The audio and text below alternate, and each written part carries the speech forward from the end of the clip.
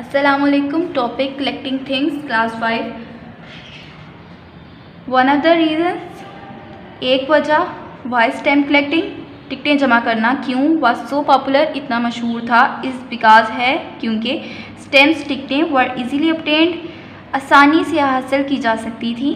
One of the reasons why stamp collecting was so popular is because stamps were easily obtained टिकटें जमा करने इतने मकबूल होने की एक वजह यह है कि टिकटों को हासिल करना आसान था। मोस्ट पीपल बहुत से लोग हैड फ्रेंड्स दोस्त रखते थे। इन डिस्टेंट प्लेसेस दूर दराज जगहों पर में हो रोड लेटर्स जो उन्हें ख़त लिखते थे। टू दैम उन्हें one of the reasons why stamp collecting was so popular is because stamps were easily obtained most people had friends in distant places who wrote letters to them टिकटें जमा करने के इतने मकबूल होने की एक वजह यह है कि टिकटों को हासिल करना आसान था। ज़्यादातर लोग ज़्यादातर लोगों के दूर दराज जगहों पर दोस्त थे जो इन्हें ख़त लिखते थे। Quite often children became interested quite often अक्सर चिल्ड्रन बच्चे बिकेम इंटरेस्टेड इंटरेस्टेड दिलचस्पी लेने लगते हैं।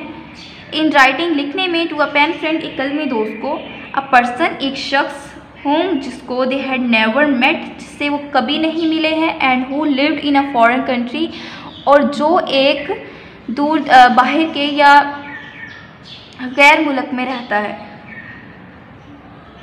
Most people had friends in distant places who wrote letters to them बहुत से लोग दूर दराज के इलाकों में दोस्त रखते हैं, जो कि जिनको जो उन्हें ख़त लिखते हैं। Quite often children became interested in writing to a pen friend अक्सर बच्चे किसी कलमी दोस्त को ख़त लिखने में दिलचस्पी लेने लगते हैं।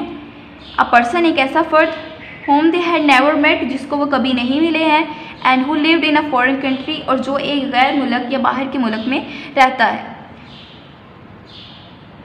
वैन एन इनवेल्प जब एक लफाफा विद अ कलरफुल स्टैम्प एक रंगीन सी टिकट वाला, एक रंगीन सी टिकट के साथ अराइव पहुँचता है इन द पोस्ट डाक में।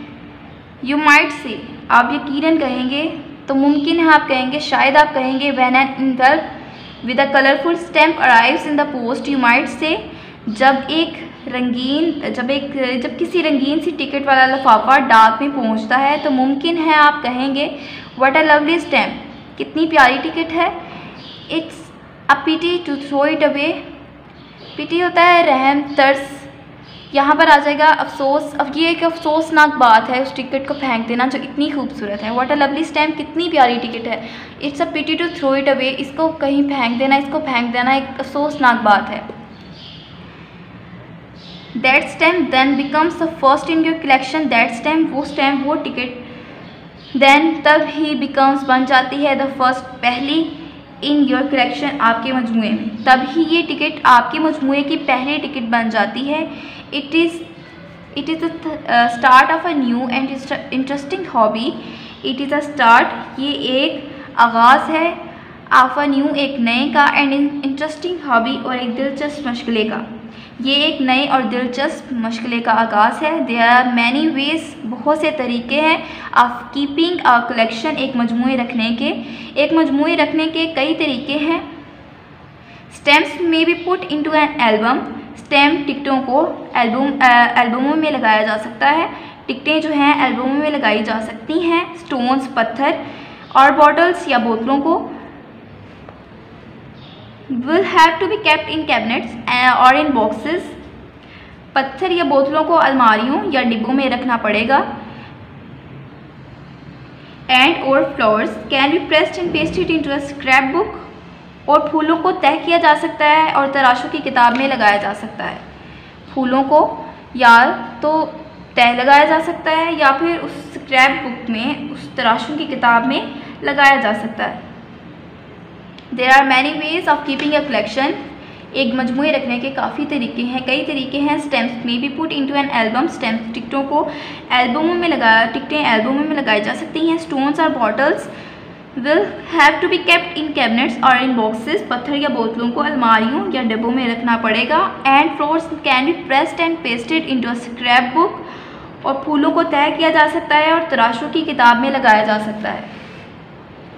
वर्ड्स मीनिंग पॉपुलर मकबूल, मशहूर, obtained, हासिल किया। डिस्टेंट दूर दराज कलरफुल रंगीन पिटी अफसोस।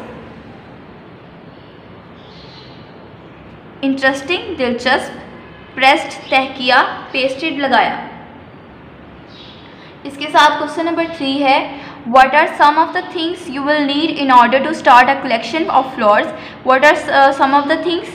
कौन सी चीज़ें हैं क्या चीज़ें हैं कुछ चीज़ें हैं यू विल नीड जिनकी आपको ज़रूरत होगी in order to to start a collection of flowers फूलों का मजमू शुरू करने के लिए।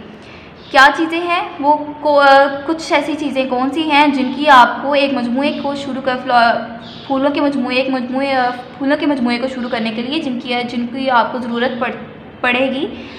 आंसर है I will need a notebook मुझे एक नोटबुक की ज़रूरत होगी अ पेंसिल एक पेंसिल की एन एल्बम और स्क्रैप बुक एक तराशों की किताब की या एक एल्बम की two pieces of hardboard and clean newspaper hardboard के दो पीसेस और एक साफ़ सुथरा अखबार। What are some of the things you will need in order to start a collection of flowers फूलों का मजमू शुरू करने के लिए कौन सी अच्छी चीज़ों की ज़रूरत आपको पड़ेगी?